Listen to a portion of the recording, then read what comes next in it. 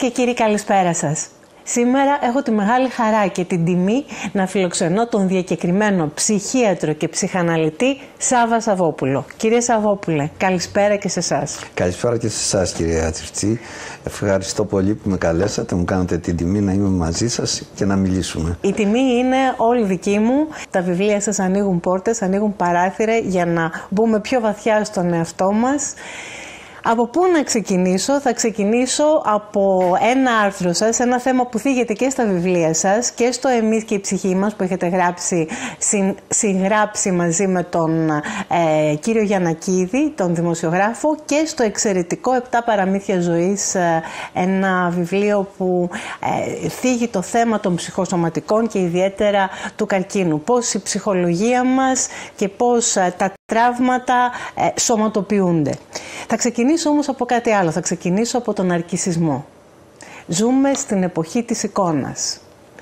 Κύριε Σαββόπουλε, τι σημαίνει αυτό για την ψυχή μας; Το ότι είμαστε τόσο πολύ στραμμένοι στο, προς τα έξω και στο πώς φαινόμαστε και σχεδόν απαγορεύουμε στον εαυτό μας να κοιτάξουμε μέσα; Ναι, είναι νομίζω μια απέτηση του σύγχρονου πολιτισμού να αρέσουμε δεν είναι μια απέτηση του πολιτισμού να γνωρίσουμε τον εαυτό μας. Ότι δεν είναι αυτό το πιο σημαντικό. Το πιο σημαντικό είναι πόσα χρήματα βγάζεις, τι αυτοκίνητο έχεις, πόσο ωραίο σπίτι έχεις, πόσο ωραία ταξίδια κάνεις. Το ταξίδι προς τον εσωτερικό κόσμο είναι πολύ πολύ περιορισμένο. Και αυτό, ξέρετε, μιλήσατε για εικόνα. Το βλέπουμε γιατί ο άνθρωπος στρέφεται πιο πολύ στην εικόνα, τη δική του, την εξωτερική, που κάποια φορά όταν είναι μεγαλειώδης αυτή η εικόνα είναι λαμπερή, ζηλεύει, φθονεί τον άλλο που το έχει, παρά να κοιτάξει τη λέξη, να κοιτάξει τα συναισθήματα τα οποία, ξέρετε, σε, στον πολιτισμό που ζούμε περιορίζονται. Δηλαδή δεν πρέπει να δείξεις ότι είσαι στενοχωρημένος, δεν πρέπει να δείξεις ότι είσαι αδιάφορος, για κάτι που νοιάζονται όλοι. Αυτό λοιπόν εκφράζεται συνήθως με τις λέξεις. Και γι' αυτό θα δείτε όλο και πιο λίγο οι άνθρωποι διαβάζουν και εκείνο που χρειάζεται πια είναι σου λέει μια εικόνα. μια ωραία φωτογραφία. Μια ωραία φωτογραφία, τίποτα άλλο. Δηλαδή έχουμε μια πτώση αν θέλετε αυτού που λέμε της αναπαράστασης λέξης, δηλαδή να αναπαριστάς τον κόσμο σου με λέξεις και με χρωματισμένα συναισθήματα υπέρ μιας επιβολής, μιας λαμπερής εικόνας που θα μπώνει όλα τα άλλα. Πιστεύετε δηλαδή ότι οι λέξεις έχουν μεγάλη δύναμη; Βεβαίως. Βεβαίως. Ε, θυμάμαι τώρα ε, μια φράση του Αντρέ Μπρετόν, ο οποίος έλεγε ε, μια λέξη και όλα κερδίζονται, μια λέξη και όλα χάνονται. ή όπως λέει ο λαός η γλώσσα κόκαλα δεν έχει Ακριβώς. και κόκαλα τσακίζει. Δηλαδή μπορεί κάποιος να σου πει κάτι και να είναι... Πολύ εχμηρό. Πολύ εχμηρό. Ναι, πώς, μπορούμε, πώς, πώς μπορούμε να βγούμε από αυτό τον αρκισισμό, πώς μπορούμε να τον διαχειριστούμε; Γιατί ταυτόχρονα υπάρχει και ο κίνδυνος της περιθωριοποίησης. Πόσο μπορείς εσύ να μην κάνεις αυτό που κάνουν όλοι οι άλλοι; Πολύ δύσκολο. Γιατί σαν αγελαίο ζώο που είναι ο άνθρωπος θέλει να είναι μαζί με τους άλλους. Να μην είναι διαφορετικός από τους άλλους. Βλέπετε, αν υπάρχει κάτι που είναι διαφορετικό στην προσωπικότητά σου, στην ταυτότητά σου, δέχεσαι bullying. Θα το έχετε παρατηρήσει. Βέβαια. Οποιαδήποτε ιδιότητα έχεις που δεν είναι κοινή ιδιότητα, είτε σε επίπεδο πολιτισμικό, είτε σε επίπεδο φιλής, είτε στην έμφυλη ταυτότητα, στο σεξουαλικό προσανατολισμό, κατευθείαν διακρίνεσαι. Δεν, ε, οι άνθρωποι, ξέρετε, ψάχνουν αυτό που έλεγε ο Φρόιντ, είναι ο ναρκισισμός των μικρών διαφορών. Δηλαδή, εγώ με εσάς είμαι 99% και βάλε το ίδιο. Λίγο διαφέρουμε. Μπορεί εσείς έχετε βιολογικό φύλλο διαφορετικό από το δικό μου ή κάποιες πολιτισμικές επιρροές. Όλα τα άλλα είναι ε, ίδια. Και εντούτοις βλέπετε μένουμε στη διαφορά παρά στο κοινό. Ναι. Αυτό είναι και το μεγάλο πρόβλημα αυτού του πολιτισμού. Και πάντα ήταν. Αλλά τώρα είναι επιβλημένο αυτό. Δηλαδή πρέπει να επικρατήσει η εικόνα. Εις βάρος των σχέσεων με τους άλλους. Νομίζω ότι υπάρχει και μία άποψη. Η άποψη είναι ότι το έγραφε αυτός ο ευθυμογράφος, ε, χρονογράφος, ο Αλέντε Μποτόν. Έλεγε ότι δεν θέλουμε, βλέπουμε κάποιον να ζητιανεύει και αισθανόμαστε ότι ο ίδιος απέτυχε. Ότι είναι δική του η ευθύνη, ότι κάπου ο ίδιος δεν τα κατάφερε. Οπότε έχοντας το κράτος αποστασιοποιηθεί από τους πολίτες, αν εσύ δεν είσαι καλά, είσαι ταυτόχρονα loser, αποτυχημένος. Ε, ε, είναι έτσι, δεν μπορούμε να σκεφτούμε ότι ξέρεις την θέση του Ζητιάνου ενδεχόμενα μπορεί να βρεθούμε εμείς. Θα ήμασταν εμείς. Στην θέση είναι, είναι ε, ζήτημα συγκυριών διεθνών καταστάσεων κτλ. που δεν είμαστε εμείς στη θέση του Σύριου ή του Αφγανού ε, μετανάστη ή πρόσφυγα. Τελικά έχει χαθεί η ενσυναίσθηση. Ναι, είναι, είναι πολύ δύσκολο γιατί ο ναρκισισμός σε, σε βγάζει από το ε, να επικοινωνήσει με τον άλλον, να μετέχεις στο κοινωνικό με τον άλλον, να δεις τον εαυτό σου σαν ένα σύνολο, σαν μέρος ενός συνόλου που δεν είσαι παρά ένα μικρό μόριο αυτού του συνόλου. Δεν είσαι και μεγάλο πράγμα. Ε, εμείς με τον αρκισισμό προτιμούμε αυτό το μόριο που είμαστε να πούμε... Να το μεγεθύνουμε. Αυτό είναι. Να, να το μεγεθύνουμε. Άρα συνακόλουθη αυτόν είναι η μοναξιά. Και διάβαζα σε ένα άρθρο σας πάρα πολύ ενδιαφέρον για τον Υπουργό Μοναξιάς στη Μεγάλη Βρετανία ή για το πείραμα που γίνεται στη Σουηδία με αυτή την πολυκατοικία κοινοβιακού τύπου. Τι ωραία ιδέα. Yeah, όπου συμβιώνουν διαφορετικές ηλικίες, ε, πρημοδοτείται από το κράτος και είναι υποχρεωμένος ο νεαρός που ζει σε αυτή την πολυκατοικία να κάνει παρέα με τον 92χρονο, ο οποίος πιθανόν είναι μόνος του, να του διδάξει τεχνογνωσία, σύγχρονη τεχνολογία και να πάρει μια άλλη γνώση από αυτόν. Βεβαίως είναι το μοίρασμα, δηλαδή σε ορισμένες καταστάσεις οι αρχές διαπίστωσαν αυτή τη μοναξιά, αυτό το κλείσιμο στα σπίτια. Ξέρετε στο Παρίσι ε, τα πιο πολλά σπίτια, πολύ μεγάλο ποσοστό, ε, κατοικούνται από ένα άτομο σε μια τεράστια πόλη. Αυτό τους αφήνει σε μια αφόρητη μοναξιά τους ανθρώπους που βέβαια φέρνει κατάθλιψη, φέρνει αγωνίες, φέρνει διαταραχές ύπνου, φέρνει διαταραχές προσωπικότητας. Ψυχοσωματικά. Ψυχοσωματικά βεβαίως είναι στο ότι δεν εκφράζεται, ξέρετε, με ψυχικά συμπτώματα όταν τα πράγματα δεν πάνε καλά, θα εκφραστεί είτε με ε, προβλήματα του χαρακτήρα, διατροφικές διαταραχές, ε, τοξικομανία, αλκοολισμό, επικίνδυνη συμπεριφορά και αν αυτό δεν φτάνει θα εκφραστεί με σωματοποιήσεις. Σε αυτό θα σταθούμε πολύ. Πριν περάσουμε όμως, θέλω λίγο ακόμα να μείνουμε στις λέξεις. Ε, μιλήσαμε για τη δύναμη των λέξεων και ταυτόχρονα συνεχώς με προβληματίζει το άδειασμα των λέξεων από το περιεχόμενό τους. Ας πούμε, μια λέξη που χρησιμοποιούμε πάρα πολύ είναι η ενσυναίσθηση. Και βλέπουμε ότι στην πραγματικότητα σχεδόν είναι απαγορευμένη η πρακτική της. Ναι, ναι. Είναι μια κούφια λέξη. Είναι μια κούφια λέξη. Ναι. Γιατί ε, και βλέπετε δεν είναι τυχαίο ότι μιλάμε πιο πολύ για ενσυναίσθηση παρά να χρησιμοποιήσουμε μια ελληνική λέξη που είναι νιάξιμο. Νιάξιμο. Φροντίδα. Έγνοια. Χρησιμοποιούμε μια ξενόφερτη ε, έννοια που είναι έμπαθη για να το πούμε έτσι. Εν τω μεταξύ στα ελληνικά εμπάθεια σημαίνει το αντίθετο. Μήπως μετατρέψαμε, σκέφτομαι, ακόμα και τις λέξεις σε πράγματα. Ακριβώς. Είναι αυτό δηλαδή. Και αυτό που παρατηρείτε, παρατηρείτε στη μηχανιστική σκέψη μια, σχέση που, μια σκέψη που είναι σχεδόν μια σχέση ρομποτική. Θέλω να μας την εξηγήσετε και να σταθούμε. Γιατί έχετε μιλήσει για αλεξιθυμία που και όπως αναλύεται ε, τη λέξη ετυμολογικά έχει μεγάλο ενδιαφέρον και ψυχολογικά, ψυχογραφικά. Βεβαίως.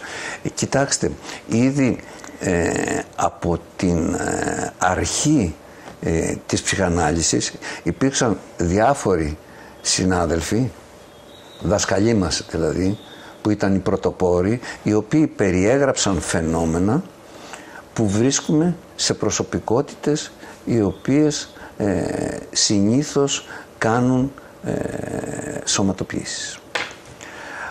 Ε, ήταν ε, ήδη ο Φερέντζη, ένας μαθητής του Φρόιντ, μετά ένας Ρουές, ένας ε, ψυχίατρος ε, στις δυτικές ακτές των ΗΠΑ, ε, ήταν ο Σιουρ, ένας ψυχαναλυτής και μετά υπήρξαν πάρα πολλά δεδομένα και άλλοι, πολλοί άλλοι.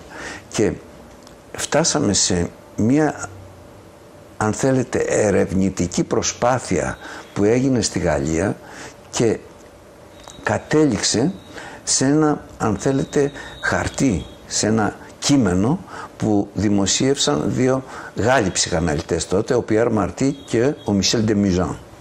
Αυτοί λοιπόν τι είδαν εκεί, ότι οι άνθρωποι οι οποίοι ε, εμφανίζουν συχνά σωματικά προβλήματα, σωματοποιήσεις, είναι σε κάποιο μέρος ε, άτομα που έχουν ξεκοπεί από το συνέστημά τους. Δηλαδή είναι σαν το συνέστημα να έχει παγώσει, να έχει κατασταλεί και από την άλλη μεριά ο κόσμος, ο ψυχικός, ο εικονικός και ο λεκτικός να είναι περιορισμένος. δηλαδή βλέπουμε να έχουν μια περιορισμένη λειτουργία του φαντασιακού, δηλαδή η φαντασία να μην είναι τόσο πλούσια, η ονειρική λειτουργία να μην είναι τόσο πλούσια και από την άλλη μεριά στην καθημερινότητά τους να είναι γατζωμένοι με το πραγματικό. Με αυτό που γίνεται εδώ και τώρα. Ναι. Υπάρχει δηλαδή μία χρηστικοθυρία; Μία χρηστικοθυρία, μία λειτουργικότητα. Μία δηλαδή, λειτουργικότητα. Στο εδώ και τώρα, το οποίο ή δεν το να ανταπεξέλθεις δηλαδή στο εδώ και τώρα. Στο εδώ και τώρα, σε διάφορα πρέπει. Ναι, χωρίς να σκεφτώ, δηλαδή ξυπνάω το πρωί και λέω «Α, ξύπνησα 7.30, ε, ήπια τον καφέ μου στις 8, έφυγα στις 8.30, ε, πήγα 9 στο, στη δουλειά μου». Ενώ κάποιος που δεν είναι με τη μηχανιστική σκέψη θα πει πω ήταν δύσκολο να ξυπνήσω γιατί χθες το παράκανα και ήμουν πιο αργά. Και εγώ διάβαζα μέχρι αργά για να έρθω να σας συναντήσω. Ακριβώς και, και μετά που... Τι άγχος και, και πώς όλο να, αυτό το έργο. να πάω εκεί, τι να φορέσω, τι να μην φορέσω. Τι να μην φορέσω και κυρίως τι να πω. Τι να πω. Ε, καταλάβατε, είναι πολύ διαφορετικό. Δηλαδή το συνέστημα είναι σε πρώτη γραμμή. Σε πρώτη γραμμή. Πιστεύετε ότι έχουν γίνει χρηστικές και οι σχέσεις και έχει αυτό κάποιο, κάποιο κομμάτι ευθύνη στην κατάσταση; Δηλαδή λέμε θα σχετιστώ με αυτόν διότι θα μου χρησιμεύσει εκεί. Και δεν λέμε ότι θα σχετιστώ με αυτόν διότι μου ανοίγει την ψυχή, βρε αδερφέ, όταν τον βλέπω και λέμε δύο κουβέντες, αλλά λέμε αυτός έχει μια γνωριμία. Αυτό, το ακούμε πάρα πολύ για τα, το, το, τα PR τα λεγόμενα, ναι. οι δημόσιες σχέσεις. Αυτό το έχει ήδη πώς να πω, επισημάνει ο Αριστοτέλης από τότε. Τι είδους σχέσεις είναι. Υπάρχουν και αυτές οι φιλμιστικέ. Ε, εδώ νομίζω με τους χρηστικούς ή τους αλεξιθυμικούς ασθενείς είναι ότι υπάρχει και ένα έλλειμμα ψυχικό. Το άλλο είναι κερδοσκόπιο είναι πιαρτζίδες. Το, το, το ζήτημα με το χρηστικό ασθενή, με το μηχανιστικό ασθενή είναι ότι ο ίδιος δεν μπορεί να λειτουργήσει αλλιώς. Δηλαδή να σας δώσω ένα μικρό παράδειγμα. Ε, κάποια κυρία πάει σε μία ομίγυρη που ήταν καλεσμένη και ε, φτάνει εκεί. Εν τω μεταξύ ήταν μια μέρα που γινόσανται κάποια επεισόδια, είχαν πέσει κάτι μολότοφ, είχαν πέσει κάτι καπνογόνα, ξέρετε. Ε, και φτάνει εκεί πέρα και λέει «Μα τι γίνεστε» γιατί μιλούσαν έτσι οι άλλοι για τα γεγονότα. Ε, της λένε «Μα πού μένεις, πού ζεις» Οπότε λέει η κυρία Κανάρι 33. Καταλάβατε δηλαδή. Δεν είχε, είχε μείνει στο. Δηλαδή ναι. δεν λειτουργεί η μεταφορά. Δεν λειτουργεί η μεταφορά. Δεν λειτουργεί η μεταφορά. Δεν λειτουργεί το να.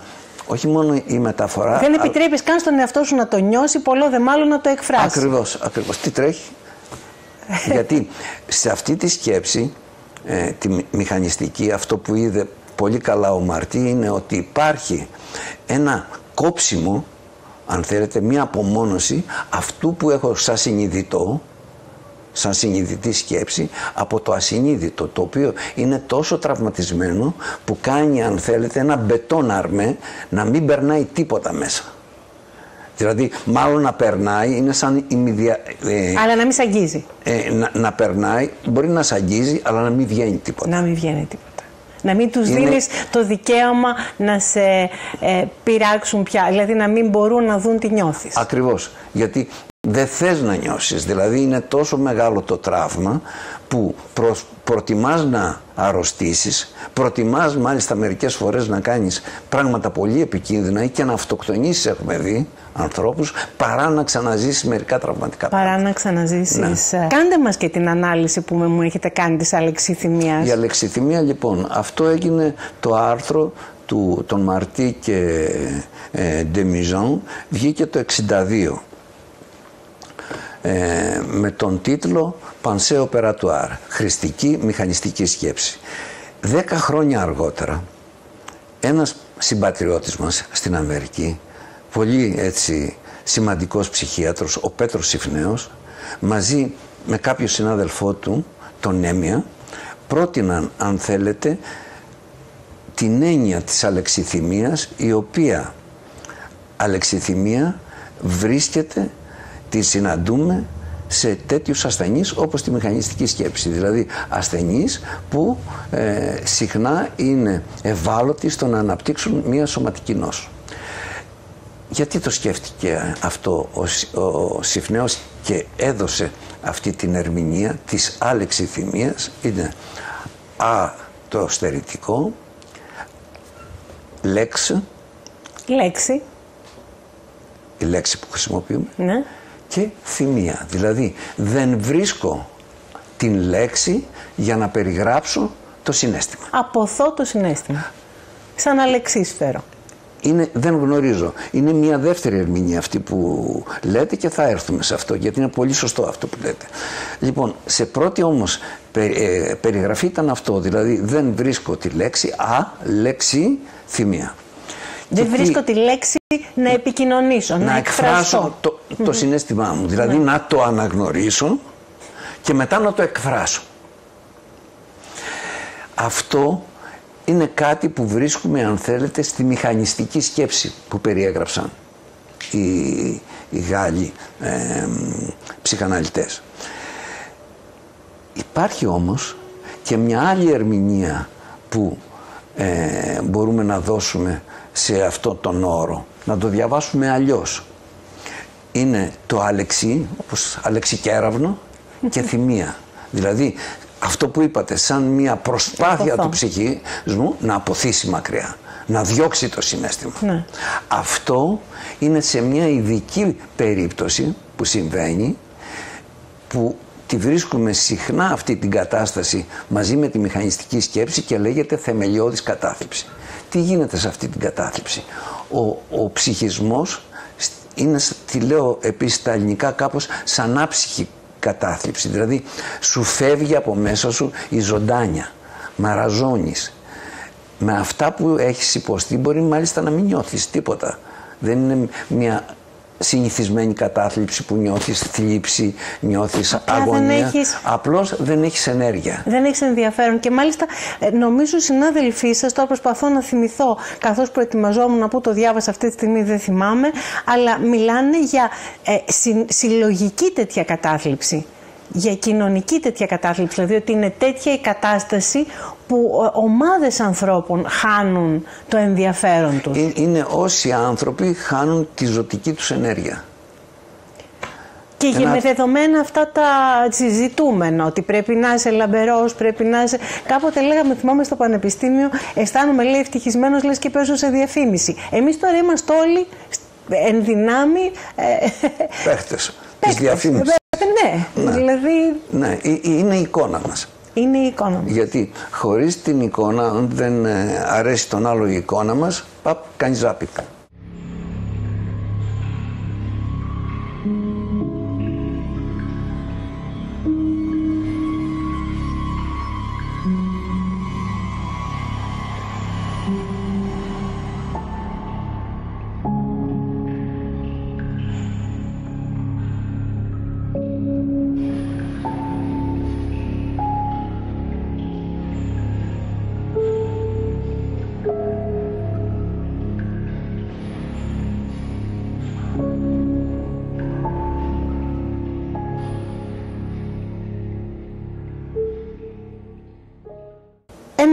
Ενδιαφέρον πεδίο με το οποίο έχετε ασχοληθεί και είναι ένα νέο επιστημονικό πεδίο, τα ψυχοσωματικά, είναι τα ψυχοσωματικά.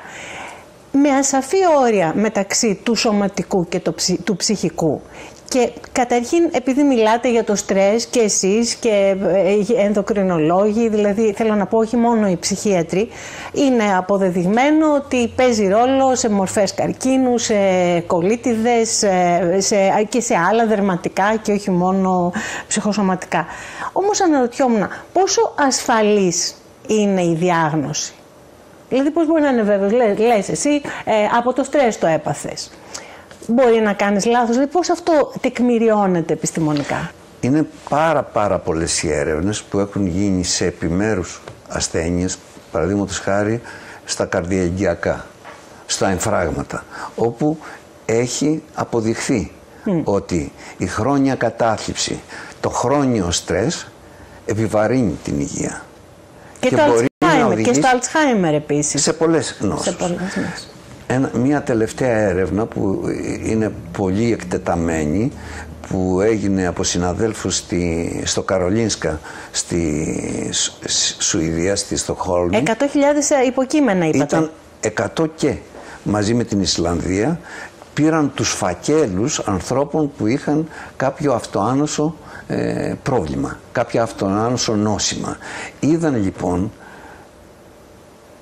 συστηματικά να είναι παρόν το στρες και η χρόνια κατάθλιψη η οποία οδηγούσε σε μια στρεσογόνο κατάσταση να υπάρχουν κατάστασεις σε αυτό που λέμε ε, διαταραχή μετατραυματικού στρες. Υπήρχαν τέτοιες περιπτώσεις και μάλιστα προχώρησαν και ένα βήμα παραπάνω και είπαν ότι για την αντιμετώπιση αυτών των καταστάσεων πολύ χρήσιμο πέρα από την ιατρική ε, πώς να πω ε, από την ιατρική θεραπεία την οποία θα συνταγογραφήσει ο αρμόδιος γιατρός, ο ρευματολόγος, ο ειδικός στα νοσοποιητικά τέλος πάντων ή αν είναι νευρολόγος, αν είναι σκλήρης κατά πλάκας, αν είναι ε, ε, στο διαβήτη ο ενδοκρινολόγος είδαν ότι βοηθάει εξίσου όχι δεν ξέρω σε ποιο βαθμό, αλλά βοηθάει συμπληρωματικά και μια αντικαταθλιπτική θεραπεία. Με αντικαταθλιπτικά. Δίνεις αντικαταθλιπτικά δηλαδή και πιθανόν κάνεις και ψυχοθεραπεία και βελτιώνεται, και βελτιώνεται δραματικά. το σωματικό.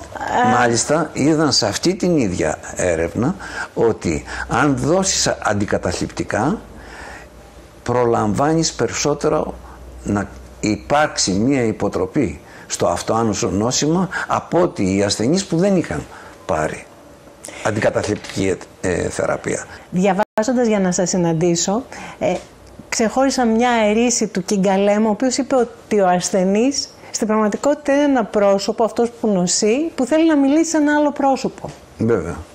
Και έχει απόλυτο δίκιο γιατί είναι φοβερή προσω... προσωπικότητα και ήταν ένας γιατρός, επιστημολόγος, ο οποίος πήγε να βρει την ουσία, τι είναι φυσιολογικό, τι είναι παθολογικό.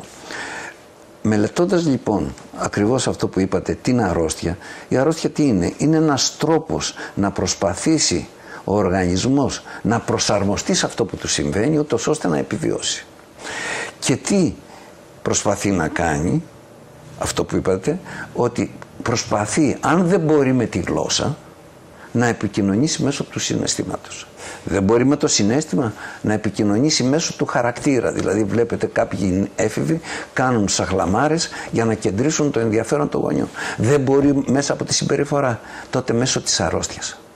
Γιατί η αρρώστια είναι το τελευταίο και ταυτόχρονα το πρώτο αντικείμενο του ανθρώπου. Γιατί προσβάλλει το πρώτο αντικείμενο που είναι το σώμα. Οπότε αν θέλετε εντός εισαγωγικών μιλάει το σώμα σαν να πει ανίστατο, ε, ίστατη κραυγή, κάντε κάτι.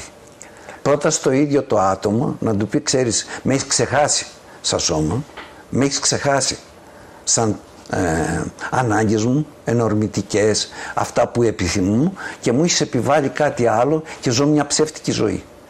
Είναι μια αφύπνιση σε ορισμένες περιπτώσεις. Έχει τύχει, ξέρετε, σε κάποιους ε, ασθενείς που είχα, καρκινοπαθείς, να σου λένε ευτυχώς που έπαθα καρκίνο. που ε, τρελαίνεσαι, δεν το λένε πολύ. Πάρα πολύ. Το λένε, το λένε και εγώ το έχω ακούσει γιατί κάνεις reset, επανα, Ακριβώς. επαναξιολογείς ε, και επανατοποθετείς. Στον εαυτό σου γιατί λες μπροστά στο θάνατο, τι είναι αυτά που κάνω; Και υπάρχουν ασθενείς που σου λένε μου μένει ένας χρόνος περίπου να τον ζήσω. Γιατρέ, ως ένας άνθρωπος και εγώ ίδια που στρεσάρομαι και αγχώδης, τι θα με συμβουλεύατε να κάνω; Ειδικά όταν έχω συνέντευξη την άλλη μέρα.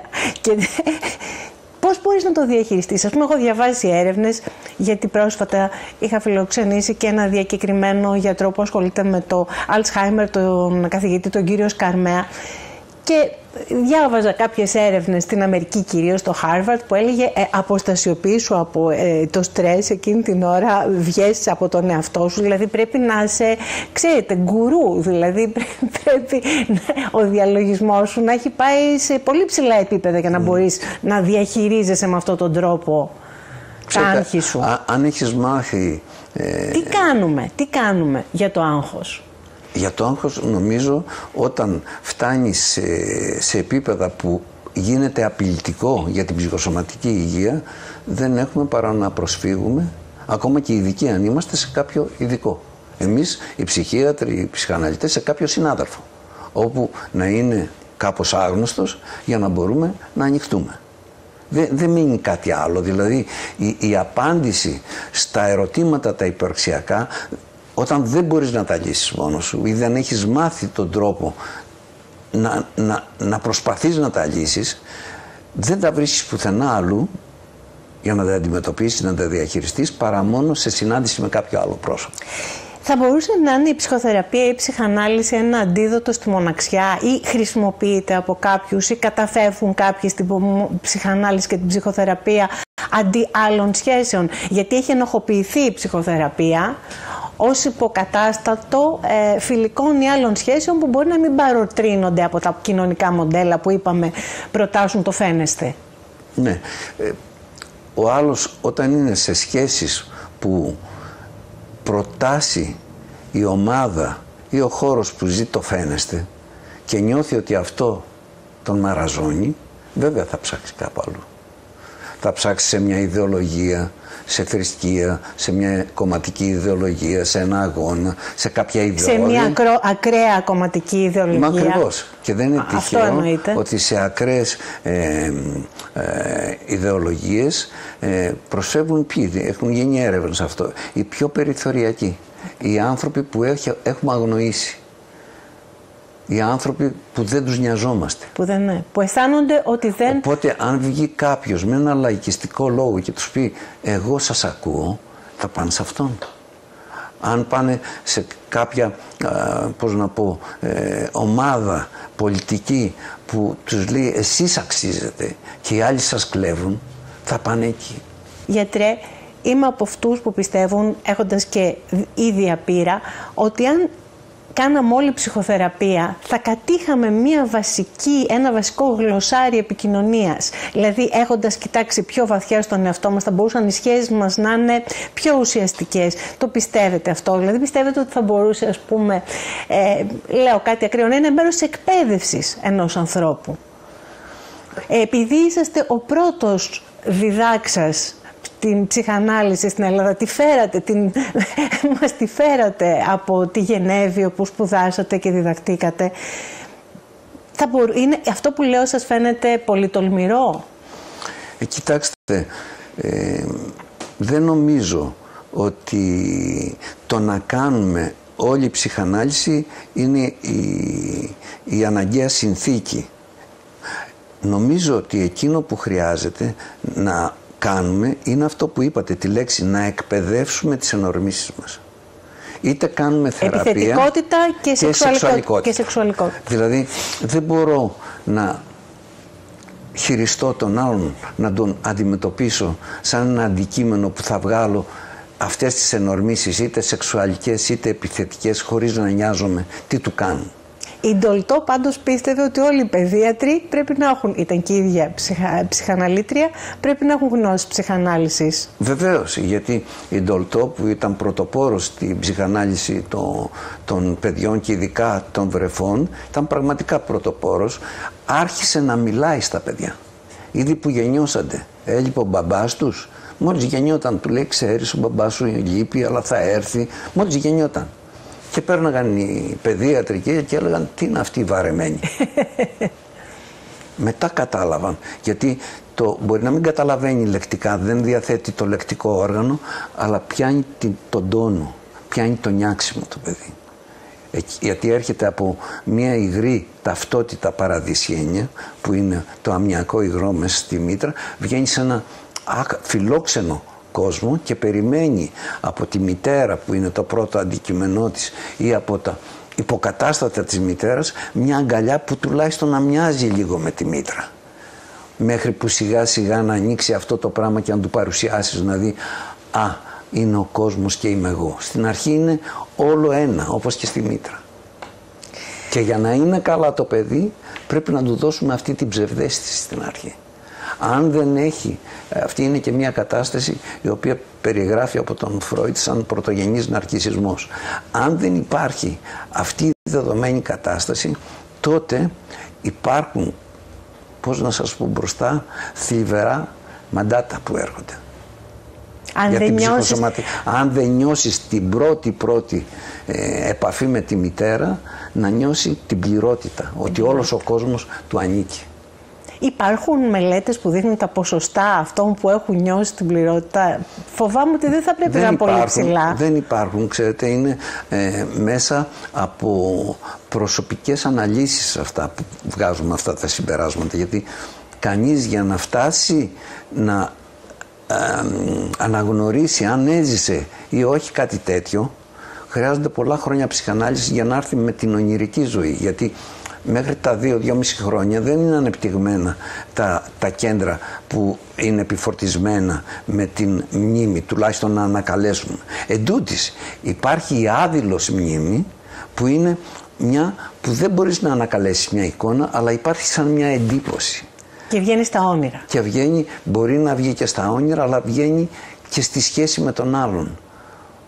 Αν κάποιος είναι πιο φοβισμένος θα βγει κάποιος φόβος, άμα ήταν πιο απειλούμενο το παιδί, αν ήταν, δεν φροντίστηκε. Ένα παιδί που φροντίστηκε και του έδωσαν την ε, εντύπωση να ζήσει αυτή την παντοδυναμία, ότι είναι, όπως έλεγε ο Φρόιτ, his majesty the baby, είναι Αλλιώς η αυτού μεγαλειότητα το παιδί. Η οποία μεγαλειότητα του μωρού έχει παρερμηνευθεί από πολλούς γονείς ε, ως ασυδοσία. Του επιτρέπουν, δεν βάζουν όρια, του επιτρέπουν να κάνει ό,τι θέλει, όποτε θέλει. Βέβαια. Ε, έχω δει δηλαδή ε, φίλους μου με παιδιά ε, να πραγματικά να περνάμε ώρες μαρτυρικές στα σπίτια τους. Έχετε απόλυτο δίκιο. Είναι, είναι σωστή φροντίδα αυτό. Όχι βέβαια. Γιατί βλέπετε ο Φρόιντ έλεγε His Majesty the baby. baby. Δεν έλεγε μετά το παιδί όσο μεγαλώνει και γίνεται κοντζάν μαντράχαλος να του φέρεσαι σαν baby. Εκεί... Μέχρι πότε θεωρείτε ότι είναι το μωρό His Majesty the Baby? Είναι τον πρώτο καιρό. Δύο μήνες; Μέχρι ξέρω εγώ να αποκόψει το στήθος. Να, ε, πώς να πω, και αυτό συνεχίζεται πολύ.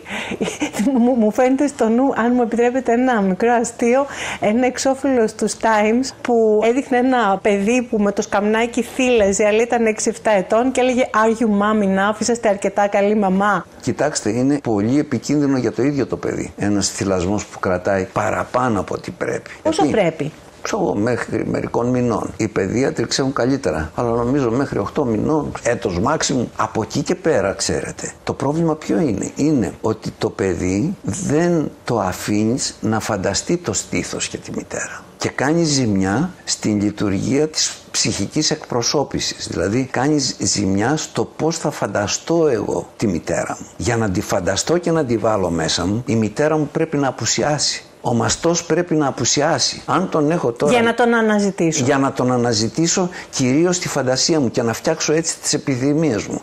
Αν η επιθυμία μου είναι να αναβαίνω στο σκαμνάκι και να πιάνω το στήθος της μητέρας μου, πάει η επιθυμία. Η επιθυμία μένει συγκεκριμένη. Δεν θα γίνει ποτέ ε, εσωτερική επιθυμία να ζητήσω μετά κάποιο άλλο αντικείμενο κάποια άλλη γυναίκα. Έτσι κρατάς στην ουσία το παιδί ε, δέσμιο. δέσμιο. Δέσμιο. Δέσμιο σε σένα. Είναι, είναι δηλαδή σαν να μην θέλεις να κόψεις τον ομφάλιο λόρο. Και αυτό το, το βλέπεις ακόμα και σε, μεγάλα, ε, σε μεγάλους ανθρώπους. Δηλαδή που έχουν ενηλικιωθεί. Ε, έχω ακούσει για ιστορίες που ε, αγόρια ή κορίτσια τους αναγκάζουν οι γονείς τους να ε, έχουν ενεργοποιημένο το GPS και να παρακολουθούν κάθε στιγμή που είναι.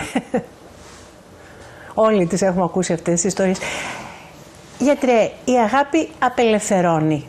Δηλαδή, θέλω να πω, σε αγαπώ σημαίνει, σε καταλαβαίνω, βλέπω τη διαφορετικότητά σου, ε, σου βάζω όρια, ώστε, γιατί παντού θα έχεις όρια και πρέπει να μάθεις. Σου δίνω παράδειγμα πιο πολύ από ό,τι σου λέω, αλλά κυρίως σε διώχνω.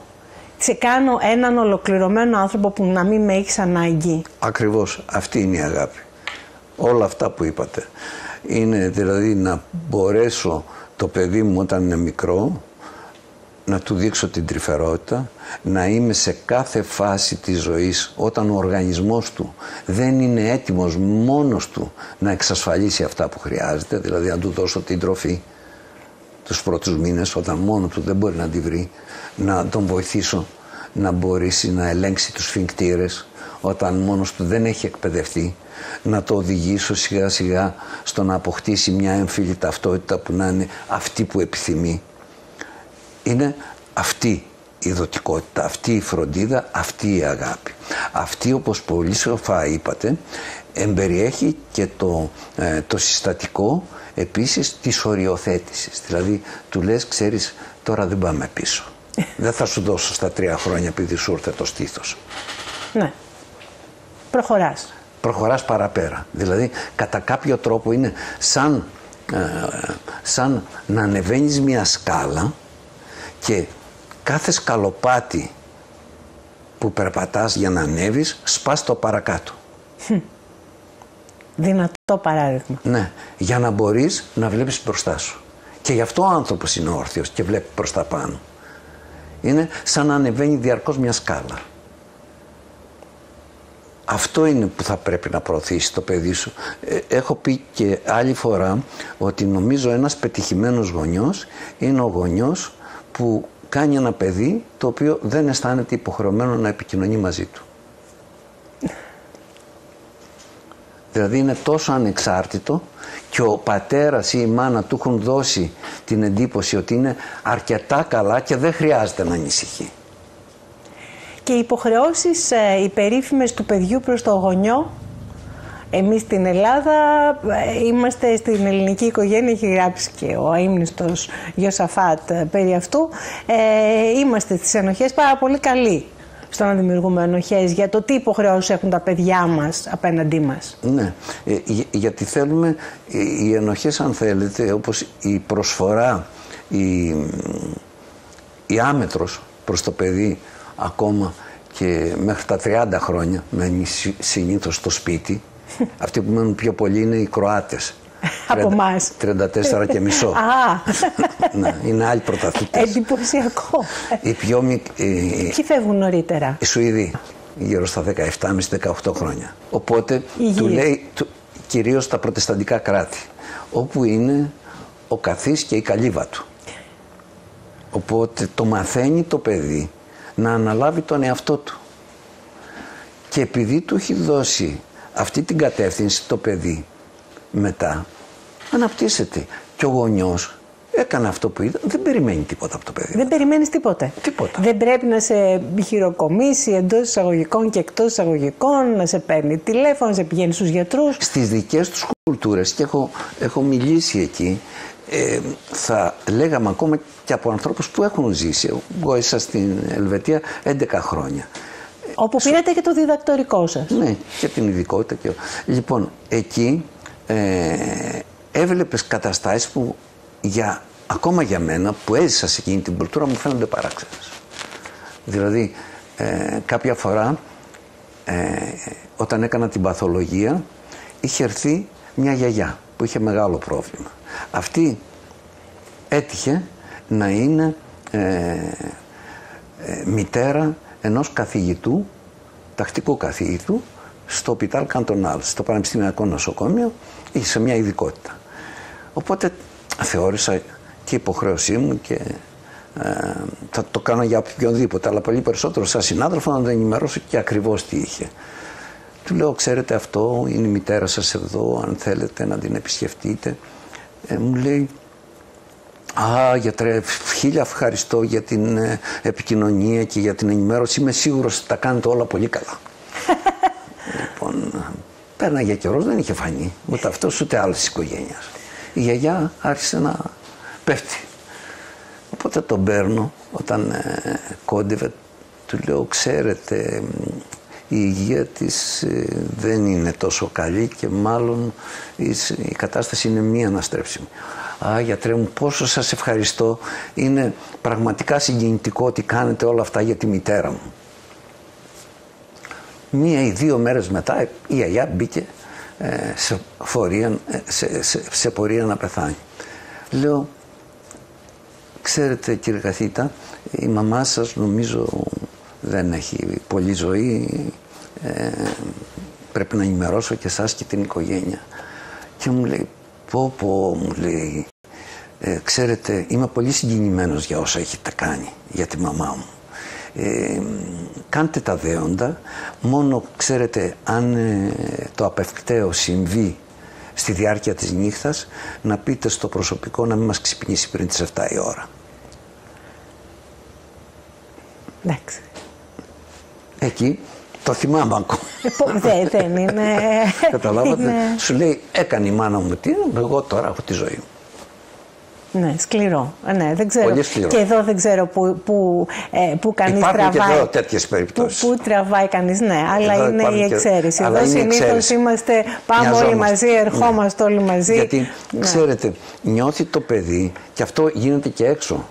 Υπάρχουν και έξω άνθρωποι που έχουν ενοχές γιατί ερχόμαστε σε ένα πολύ συ- σημαντικό σημείο εδώ πέρα η τρίτη ηλικία και προς το τέλος της ζωής ή μιλήσατε πριν για τους ε, ασθενείς που έχουν Αλτσάιμερ και είναι ηλικιωμένοι που νιώθουν πάλι ενοχή, ενοχή τα παιδιά τους και γιατί νιώθουν τόσο μεγάλη ενοχή; Γιατί τα παιδιά ήρθαν από την ανυπαρξία στους γονείς και τα ανέπτυξαν Δηλαδή πέρασαν από τη χρυσή εποχή.